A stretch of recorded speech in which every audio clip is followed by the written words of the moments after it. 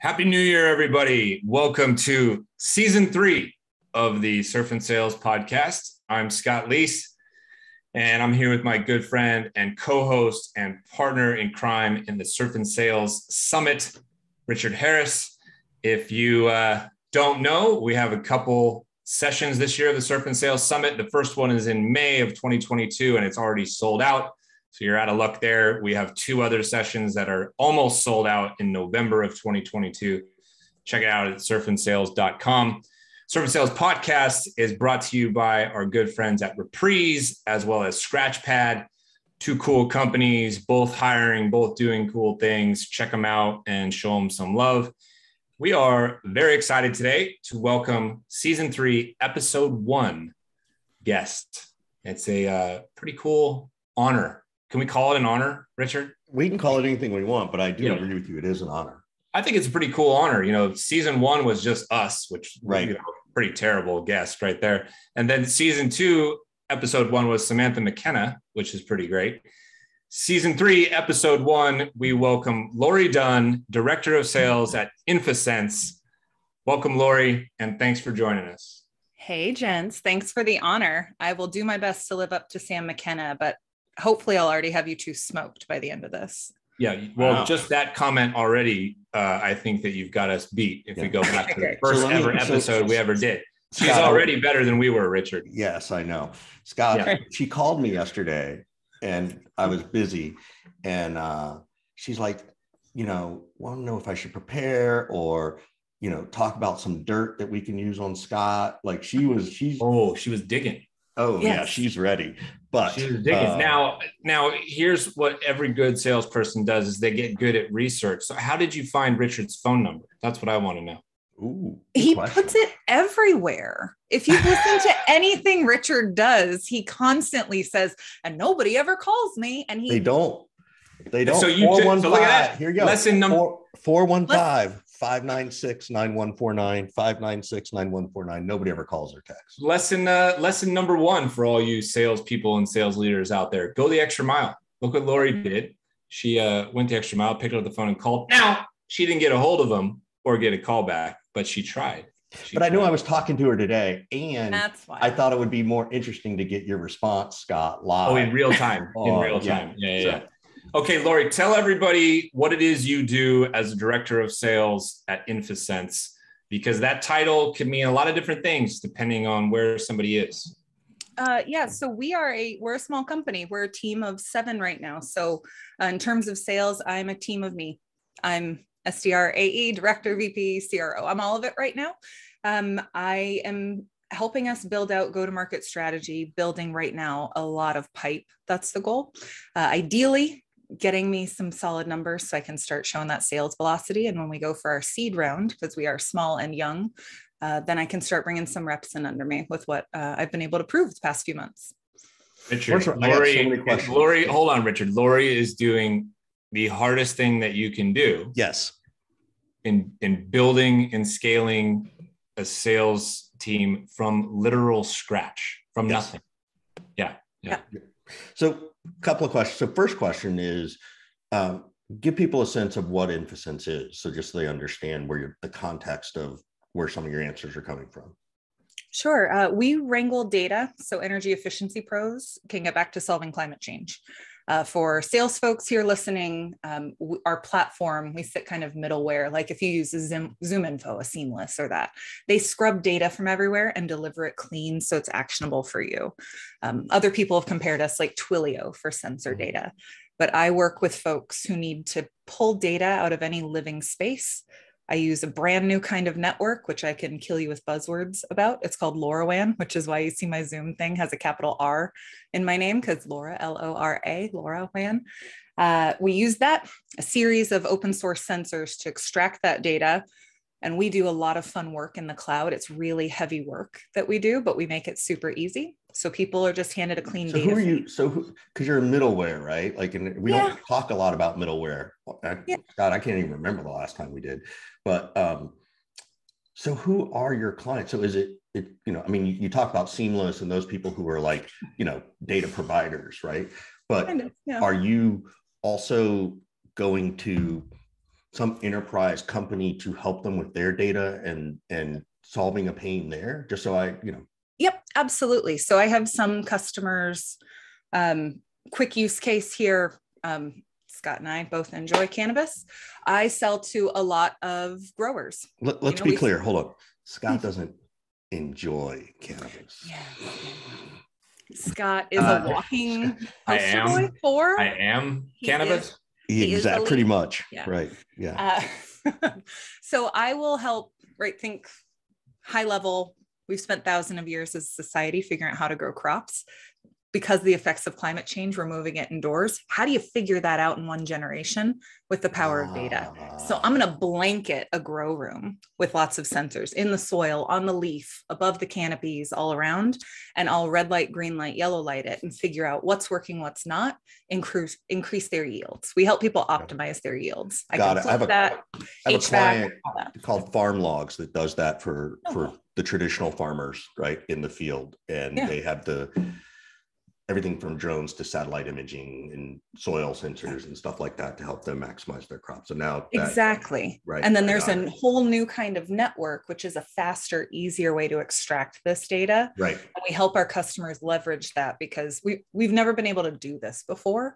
Right. So it it feels very. My CEO and I chat about it a lot. That it's kind of like um, the 95.com. Like everyone's out here running around trying to figure out how to grasp a hold of LoRa in yeah. an in an effective way, including like a crypto company came out and put a token on top so, of it to so, help build. It's, it's so cool. funny. Scott doesn't even know this. I went to a, meetup last night in the city in San Francisco around um, Web 3.0 yeah. and blockchain and how all this data will be public and how do you use that right how do you take this kind of data and make it you know accessible not necessarily for free but in a blockchain environment so that you could take what Lori has and then what someone else and then whatever and then you can start to even get a bigger aggregation of stuff so um, we are definitely a part of that so you learned right. a lot of what we are we're we're right in that niche as well. I, I would love I, yeah we scott we need to get some web 3.0 on the podcast by the way.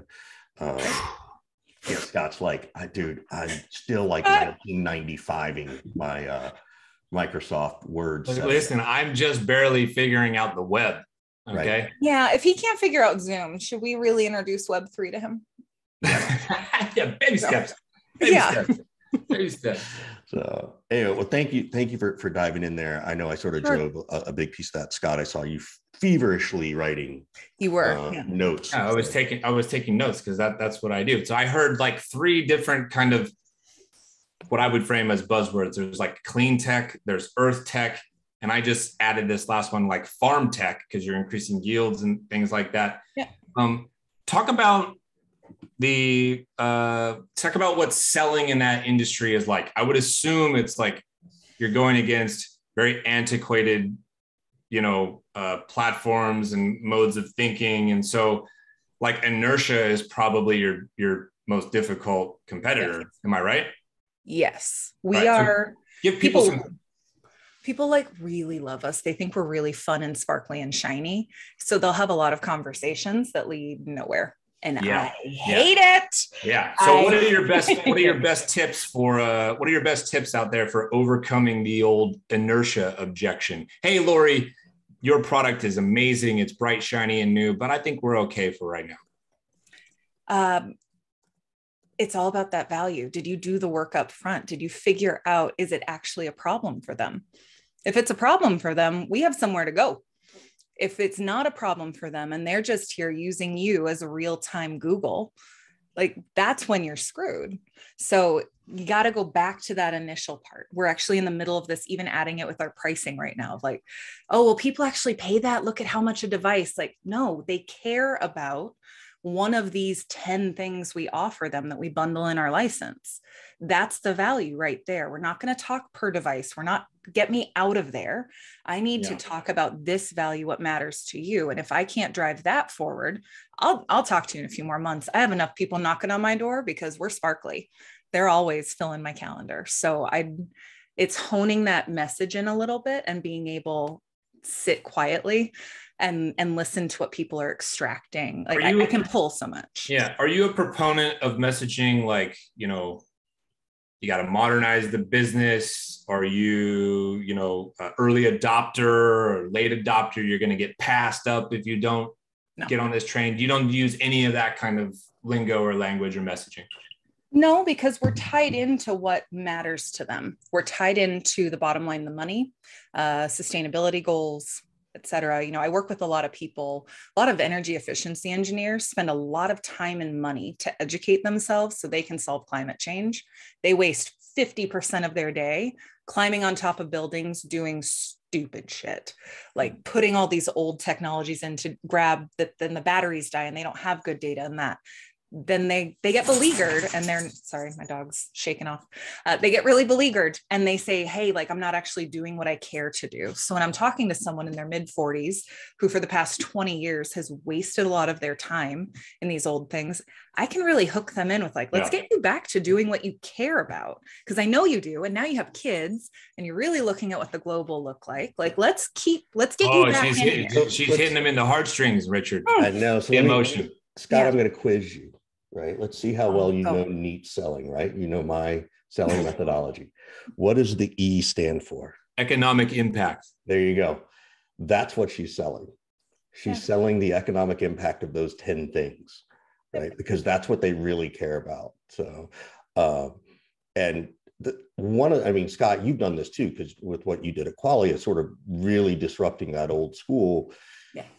Um, if your addressable market is big enough, it's almost like a joy to find. I love how she said mid 40s, because um, that's Scott. That means Scott's getting old, right? I'm already, I'm way past that number. So, uh, but I everyone here is a young spring chicken. You're yeah, beautiful. yeah. So, yeah. Um, but my but my my my point is is that those people self-select out if you ask the right questions right? You can ask enough of the right questions. They'll be like, no, I'm going to do a status quo. And you know, you'll come back to them and you know, they'll come back to you. So that's one of the things I do like about selling into a, you know, as much as I hate the buzzword, the disruptive economy, right? Um, where it's old paperwork and shit like that. So yeah, there's a, there's a lot of, there's a lot of power there as a seller to be like, all right, well, I'll circle back in six months when you're struggling and everybody else is lapping you. That's why I was curious if she's using any of that kind of kind of I language. probably should. I should probably have a few different ways I do it. Um, not yet. Maybe I'll when I hire yeah. a new so seller, here, they'll use that this. Method. So let's I'm going to pop quiz Scott Leese again. Scott yes. didn't even study today. So Coach Lori, Scott, you run into this person who's old school and coach coach people listening, and they're you know they're nice, they're friendly, they're answering questions. How do you say to them, okay, I, it sounds like this isn't the right time. Mm. What do you do that's that says it, that's polite, that's professional. And then I know Scott Leese likes to tweak them just a little. Well, you know, I, I think I would say, I hear you. It doesn't sound like it's the right time right now, but I have a question for you. Uh, are you the number one blank in the area or in your industry? No, no, I'm not. You know, we're probably top 20 or something like that. Okay. What do you think the number one or number two people are doing that you're not doing? You think it's possible that they're modernizing their systems and utilizing some of this stuff? And maybe that's why they have an advantage. It's like yeah that's definitely possible. Okay do you think that that gap will continue to grow between you and them over the next six months? Yeah that's probably possible. Okay so you know i'll circle back with you in a few months and the timing might be right. That gap's going to be a little bigger. It's going to be a little harder for us to close it but we still can make a dent in it. If you change your mind and you want to try to, you know, implement some of this a little sooner, that's fine as well. It's totally up to you. And that's the genius of Scott Leese. Yes, These it are is. the things that he's taught me for 10, 12 years when he was in his young 30s. So. did I dig him? Did I dig him a little bit there? I tried to be gentle. That was you that, did a little, but people there were I, I, honestly. Like it's your time. People also like to enjoy that, but gotta, it's your time. You know, Don't waste your my gotta, time. You got to dig people a little bit, and you know, listen. If if I, for me, if I went through about all of my sales calls without digging or without having any fun, I would be miserable. Yes. So in order for me to survive as a seller, I have to inject pieces of my snarky personality into my calls, or I will lose my mind. So. Yeah. That's what I. Uh, that's what I try to do. And I don't think what you said is tweaking. Like that's an honest truth yeah. that they know in the back of their head yeah. and that nobody ever articulates. They've never had a coach tell them these things. And you're you know you're laying it out there as a way for them to make a decision without you know calling them stupid because they're not necessarily stupid. They just don't know what they don't know. And yeah. so you're just trying to open up you know shine a light on them so. Yeah i'm trying to shine a light on on a, a dark part of the room that maybe they should pay attention to a little bit yeah exactly. and as long as you're nice and polite they know it's a safe space to come back and be like yeah i need this now yeah.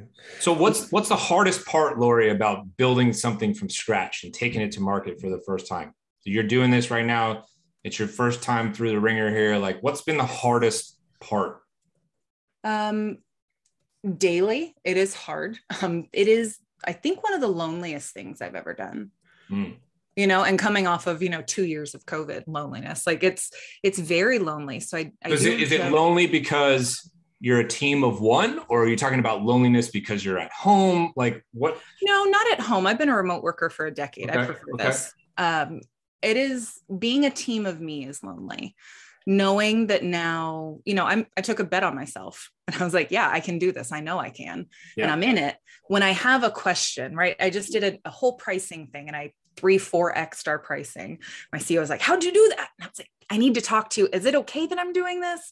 And I caught myself asking permission. I was like, I actually don't need that permission. Mm. Um, but I wanted, I'm used to having someone over me that I can fact check and do that.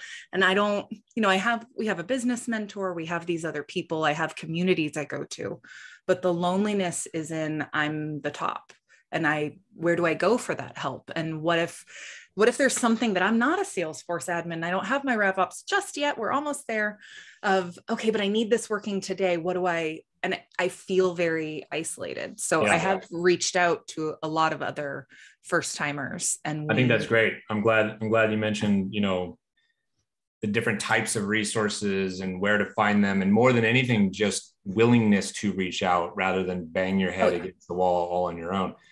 Oh, so, when I get to the point of like rage tears, are you kidding me? I have like I jump on Slack, Scotty's little sales club. I find a couple people. I find people yeah. in TNS, my other communities. AP, obviously my mentor.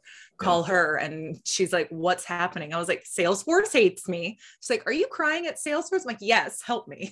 like, did you did you anticipate this being the hardest part, or is it surprising? I'm very surprised by it. Uh, I actually started writing down the emotional side of it on a blog, which I don't know if anyone can find, but it's out there. Uh, it was considering having starting a podcast and talking to other first timers, and a lot of them were like, "Yeah, I do it." Can't do that right now. Maybe I'll do it. I love it. The time. first timer podcast. I call it Confessions of a First Time Revenue Leader right now. And I have it, it's all prepped and I'm ready. Pretty good name. You need, you're ready. Anything with the word confession draws. Yeah, yeah. You, you win automatically. Yeah. Exactly. Because it, this emotional side was really surprising to me. And I have found a lot of the other first timers when I ask them, like, is this real? They go, oh my God, thank you for saying that yes and then we're they're coming back to me and telling me more of these little emotional moments. We're putting you know 30 minutes every month just to check in and we can ask each other tactical stuff but also you know when a big thing success or a fail something of like how do i go to get that pick me up in a way that i now lo- i no longer so what, have an so what are the emotional pieces? Like what's it like? Like you know give people you know okay, you're going to be the first time revenue leader or the first time yeah. revenue person, right?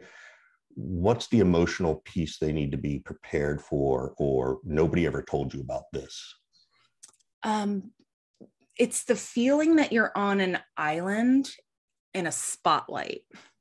It's not just you're alone out there, it's that everyone is watching. That's the feeling, right? Because every meeting, every call, how's the revenue? How's the pipe? How's this? We're mm-hmm. going for funding. So everyone's asking what the sales calls are. You get on the call and you're just learning the product and knowing like the first time you're a rep, but you don't have that that safety. You don't have that playbook that was already built that teaches you every single question. And at some point, you're like, mm-hmm. I need these answers and I need to know, and who do I go to for it?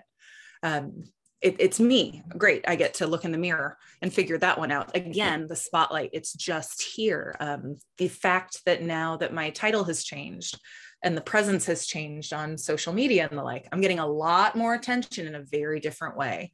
And it's, it is, it's a spotlight out on an island. It feels very Truman showy, I guess I'll say. Yeah. Interesting. Yep. Yeah. So this so this was a surprise. What did you think was going to be the hardest part? And then I'll, I'll and then Richard, I'll turn it over to you after Lori answers this question. What did you think was going to be the hardest part that has turned out not to be the hardest part? Turned out not to be my relationship with my leaders. I was prepped for a very clear, very direct, but like barriers on with what I have going on with my CTO and my CEO. That's not it. Is We she trying are- to say that she found a- an awesome CEO? Yeah, I'm, I'm sitting here going. So is your so was your expectation you might be micromanaged? Um, a little micromanaged, a little. What about bit like of- more like a racehorse? Yeah. Yes, whipped that's like what I mean. Yeah. more of that? Like go more harder, fast. You need this. What numbers? Give me better. As opposed to, I have found a very collaborative, very So, um, great I want you to to take partner I want you to take three or four seconds. Yeah. Now that you work with someone like that, Mm. is there anything that you asked in your interview that makes you go, "Oh, they did at you know that that's why I found the right person," or now that you have worked with someone who's like this and is willing to give you the the the space, what two questions do you would you advise other people to ask that would help them indicate if they're this kind of leader?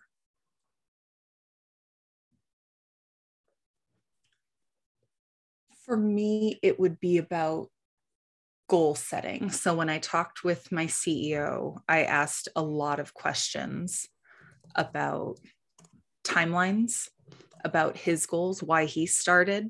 And I wanted to know again, I started a blog about the emotions. I'm going to do a pod about emotions of it. I'm very tapped into we make decisions based on how we're feeling.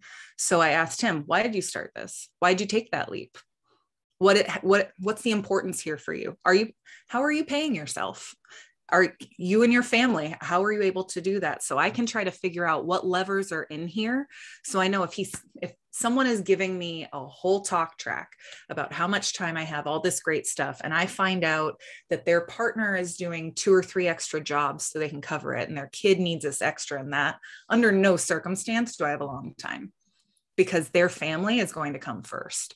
And I asked, a, I usually ask a lot of questions about this when I find other people to go work with. Um, when I went to go work with AP, I know she had two young kids, was like, I, I wanted mentorship and guidance to get myself to a leadership place. And I wanted to learn from her. I need to figure out how she managed her time. Because at the end of the day, when her kids are crying, she's going to pick up that call. She's not talking to me. So it's figuring out where they place their goal and their value. So I would ask a it's not just one question it's a lot of nuanced questions where you're getting to know the person their triggers their um, their goals here and then take that and make the story figure out if that fits for where you are able to step in and help That's great. That's that's what I was looking for. I knew it would be more than two questions, but I I, yeah I needed to limit you, otherwise you'll go off on a list. yeah i will Um, so all right. So I want to know what you wrote down in preparation for this conversation.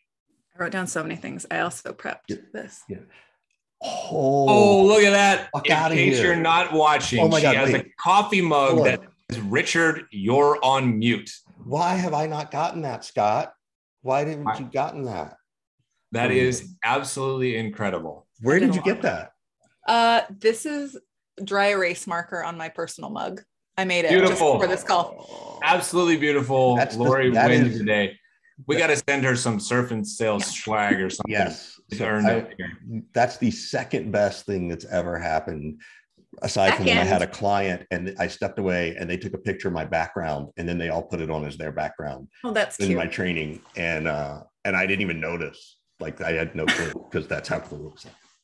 You were So, just eh, looking okay. at those faces, Richard, adding value, seeing if people understood you. You couldn't look at their background. So um Scott needs one of those too so that when we're doing I a was thinking podcast he sending can you both these. I'll, I'll, I'll, I'll copy. I'll make Yeah. it. Oh my the god, post. I'll that's so great. That's okay, what are these? What are these questions? What is this list of things you have down? I think you have done extensive prep and research. We're flipping the whole experience around sooner around. than later. Thank Season you. three is going to be chaotic. I can tell. Yeah. Okay, Listen, Lori. you- Lori's in you- control. Lori is in control. You two are expensive, and if I have you locked on a Zoom, uh, I'm going to use my time well. I love it. I'm dropping my pencil over here. I'm losing my mind. Right. I will give you the broad categories and you tell me what you're comfortable with because I don't know. We don't have enough time for this. Uh, sales marketing partnerships bucket, uh, reporting, difference of pre seed, seed, pre revenue company, hiring, founder led sales that switch, and then utilizing social channels. There are multiple questions under each of those buckets. You pick Richard because she's got the coffee mug with your name on it. You pick. I want to do the founder led sales switching. Okay. Um, I think we've talked enough about sales and marketing before. Um, and I, I like when we can find something that's controversial.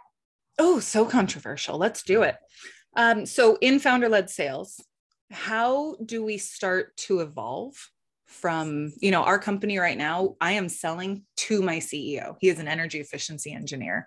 Any question i have i can go back and ask him. He's great at selling it but he's not a salesperson. Mm-hmm. um, so how to evolve that switch also the sparkle of the beginning stage.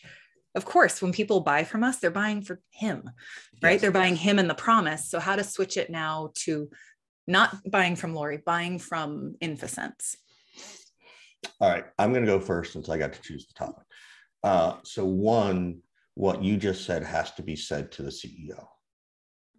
And for me, I think it's a great way, even in the interview process, to say, why do you think people buy from you? You know, and then I can say, well, you know, you know, my experience has been that what founders are doing is they're buying the founder. And mm-hmm. you know, how do you feel about that? Because I want to get their sense of whether or not they believe it. And maybe they do and maybe they don't and then saying, well, great, well, that's the transition we have to work on because we okay. don't have that. So then I would say, can we get on the phone with a couple of the clients that you sold together mm-hmm. and ask them this question? Mm-hmm. Let's ask them, what about Lori made you want to buy at this early stage startup? And what about the product? And that then I think is how you could figure it out and build into your sales culture as well as your company culture because your ceo should you could then go say hey take this share this with marketing share this with engineering this is these are the conversations that ceos and founders i think want to have but nobody's ever coached them right particularly if they're a tech founder yeah. right like they're yeah. you know you know oftentimes the tech folks aren't necessarily the most um, social person, right? Like they're not, you know, they they like to yeah. geek out on the tech, right? So yeah. their social interactions and social skills are different, which is why they hire salespeople. But when you can put those two things together, that's what I would do. So that's the first thing I would do is I'd want to talk to customers with my CEO present so that he or she could learn and hear directly from the customer what's being said. And I would tell my CEO and founder that they're not allowed to talk in that meeting. Yeah. Because they will try to take over. Yeah. So Scott, what about you? Yeah, my, my, take, I think, is a is a little bit is a little bit different. Um, if I'm understanding the the question right, to, to me, I, I've got to get whatever is working for the founder. I got to get it out of their head and onto paper. And that is something that a lot of uh, startups and early salespeople don't do. They'll have a conversation and they just try to remember everything. And the founder themselves never takes the time to put anything down on paper. Yep. so you know the information gets stuck and it gets siloed. And you can't then codify it. Because what we need is what works for the ceo onto paper. Yes. Then we need to have lori put her spin on it because she's a professional salesperson so she can improve upon what the founder has been doing and lock it in and once you're able to do that, and Lori can go sell minus the CEO who's not even, or the founder who's not even in the, on the calls or in the room, she's able to prove that that messaging process works. But don't you then, also, don't you want that knowledge from the customer too? I'm not saying you don't want that. I'm just taking the conversation. I'm just taking the question in a different, a different route. Yeah. You're building a pitch that way. Huh? you're you're working on how to build the pitch yeah. in Lori's frame of reference and Lori's tone. Yes. Lori's perspective. Yeah. yeah, and and Lori Lori's skill set and her expertise. And then once she's able to do that, you should have some confidence that okay, we can hire a couple reps. And if Lori can get those reps to build pipeline, get meetings, and close deals, now we should have confidence that this thing is ready to scale. So that's that's how I was interpreting the question. Cool. All right, Lori, what else? We got time for one more. Sneak one more in, Lori. Still on the founder led. How about? Oh my God, we're 40 minutes in. Holy shit. um, how about metrics to prove when we switch that founder led sale over to Lori led? Yeah. I'm going to defer to that. I haven't had to do metrics in a long time. Um, so lucky. So it's, it's, it's to me, it's not so much. Uh, you use this phrase metrics to prove. I mean, the proof is in the result. Yeah. That it works. And you don't really have a frame of reference to old metrics because the founder never took the founder never tracked their metrics. Let's exactly. be honest. Yeah. Never. Yeah. So I kind of don't want to have that conversation with the founder. Right. Mm. I'm tracking the metrics from right now. And I'm saying to the founder, whatever you did before doesn't matter to me because you didn't track it. You don't know. You're giving me anecdotal information and you're the founder and the figurehead and you weren't cold calling. You were getting deals from the VC network or whatever industry, you know, friends and family type of thing. So that those metrics are bullshit. So I want to know the metrics from my efforts. Like it took me a hundred calls to close a deal, whatever the metrics are, right? And from there, I can figure out, okay, this is what I think it's going to take. And this is what my guidelines should be for the reps that I hire.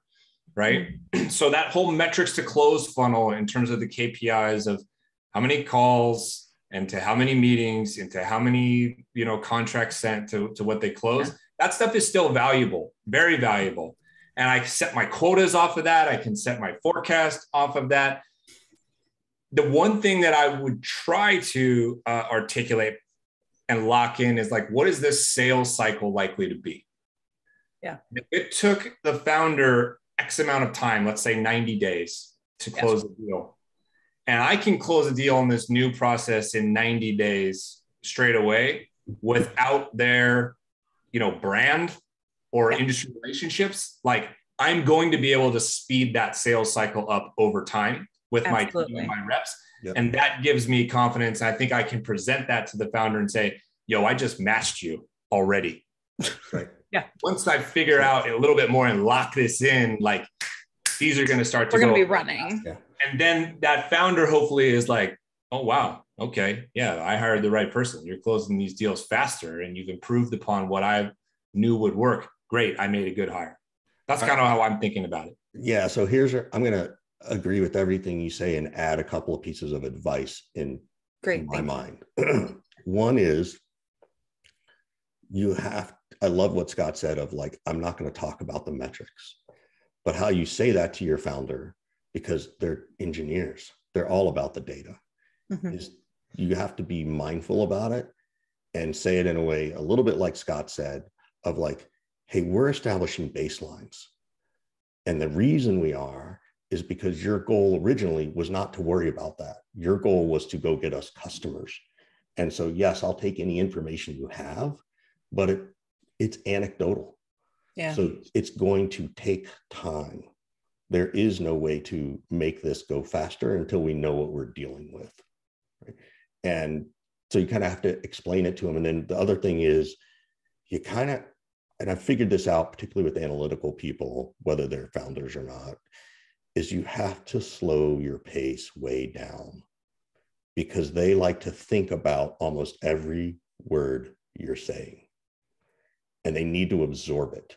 It's one of the reasons I think, this, now this is just a belief system, that we all know tech people don't like to talk to salespeople. Yeah. One, because we suck at talking to tech people. But when you do, I think when you are a little bit more conscious of your pace and tone, you they buy in more because they know yeah. you're not trying to shuck something at them, right? Like they know that you're getting them to lean in um, subconsciously. So that's the only piece I would add to that. Okay. It was really um little side note off that of how we sell to technical people. My boss and I, we were on a, a sales call being sold to yesterday. And I've been, you know, doing little coaching things with him when we're on co-calls together of like pacing, the way we talk about it, deliver pricing and shut up, stuff like that. He said we did our debrief take. That's bad. That call was like, that was really interesting because you've been telling me all of this, that nobody cares about what they do. They just care about what they can do for us. And the first 10 minutes, they didn't actually talk about InfoSense. I was like, yep. And he said, that's what you've been saying. I was like, oh my God, job yeah. security. That company just bought me a few more months yeah. by goofing up their sale to my got you your next paycheck. So, yeah, all right, Lori, I'm going to give you one piece of advice and everybody yeah. else. The worst advice I ever got, and I did it all the time, and even Scott taught it to me uh, or coached me to do it more when I was working for him. I never gave you bad advice. I know you're lying already. So this was no, this you did. You did teach this, which is give the price and then shut up, and the person who speaks first loses. How is that bad advice? Oh, because, we need to have a whole show on this. Because here's what I would say, particularly to tech people, because they don't know how to not answer the question. I want to say, and I don't want to have to interpret the silence. I will say, Lori, look, cost of the service is $15,479. How does that feel? Because pricing is not, how does that sound? Pricing is not a sound. It's not, yeah. how does it look? Pricing is not a look. It's a feeling. Yeah, but you deliver that question and then you shut up. Yeah. Yes. We're speaking. But, I, but if I just say, hey, Lori, it's 15,479. Well, we're talking the same yeah, way. no.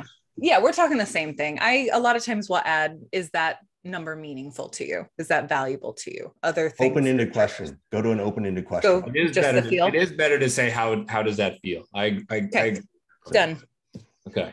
Done. Cool. Lori, this was fantastic. You oh have God. been a killer opening guest of the year 2022. We appreciate you. And by the way, Richard, I don't know if you know, Lori is coming to Surf and Sales. She ah, bought her which ticket. one? November. And I know you're looking for it. I am a yoga teacher, trainer, certified. So oh, we were oh. looking for someone to do so there's a lot of people who want to do that. We will have that. You're not going to have any opening slots for long. They're going to be gone in November. Fact, Scott, Lori's just been entered into the surf and sales schedule for November. She doesn't I was, know. I was about to, not only that, she's been added to the promotion. Yeah. By the way, if you right. like yoga, we have a professional yes yoga person who's attending who yeah. will be leading yeah. some sessions. So and we uh, we want to thank once again our sponsors, 2022 sponsors of the Surf and Sales podcast, Reprise as well as Scratchpad. Thanks for listening, everybody, and we'll see you next time. Thanks again, Lori. Thanks. Bye.